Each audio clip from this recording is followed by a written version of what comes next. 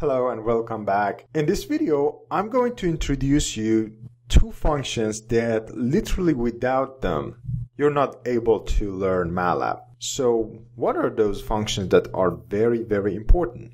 The first one is help. And why the help is so important? Because I literally never read the help of other softwares, but I picked them up However, I can't do the same with MATLAB. Well, the help of MATLAB is a little bit different. Let me show it to you. First of all, you can access the help in different forms. For instance, if you come up and on your menu bar in Mac, the upper part, there is a help. If you click on it, you can search for whatever you're after. But first, let me show here. For instance, you want to find CLC, right? CLC, this function would clear everything. But for example, you want to know more about it. The way to do it is to type help CLC. As you see, if you type it, inside the MATLAB, it will gonna bring a short description about it and will it will going to explain more about that function. Another one is the ABS which stands for absolute value of a function or variable. And so if I type help ABS and hit enter, as you see, it will bring another and more description about this function and I can even see other suggested items here.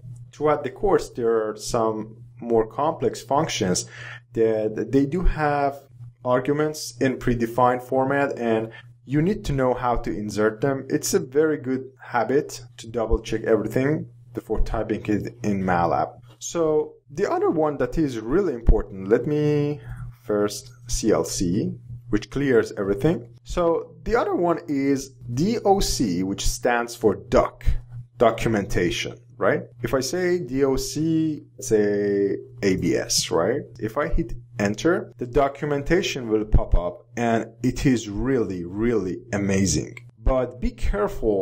This is a very detailed and huge set of information and do not treat it as like a tutorial or a learning manual because you're not going to finish it in any way.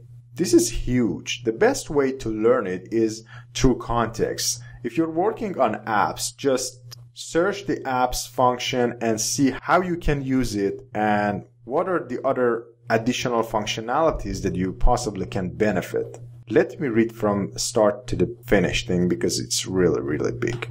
Another one, let's do DOC uh, clear. DOC clear. So it will give us more information about the clear function that I'm going to explain right now. And therefore, this documentation works for everything. All right, so let's do CLC if you pay attention in the workspace, we have done a lot of calculations and many results are created, like four results and values are stored in variables. You might like to clear them, right? Because we don't need the x negative 9 for everything. If I type here x at the moment and hit enter, the negative 9 is going to be reflected back because the value is stored in it. But the negative 9 is not going to be the case for every single program I will write. Therefore, it's a good habit to clear your workspace if you're going to work on multiple programs. The way to do it is through a function called clear. So I type clear space and then I type the name of the variable I want to get rid of. For instance, here I would like to say x. Clear x.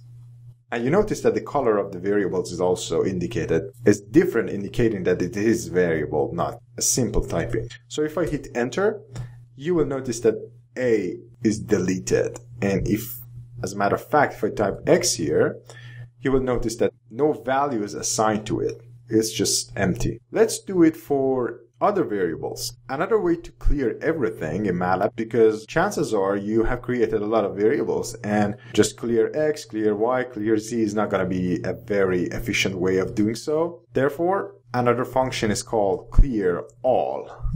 And you can guess what it does. It will clear everything. So I would like you to look at this window, the workspace, as I hit enter in the main window. Boom! Everything is clear. How about the command history? The command history, you can come here and click on this icon and clear command history very simply. It will ask you, do you want to really clear everything? Yes. Back to the main menu, you can say CLC and we're ready to start our programming. Believe me or not, you have learned some of the most frequently MATLAB functions so far, and we're ready to explore more in future videos. So let's get started.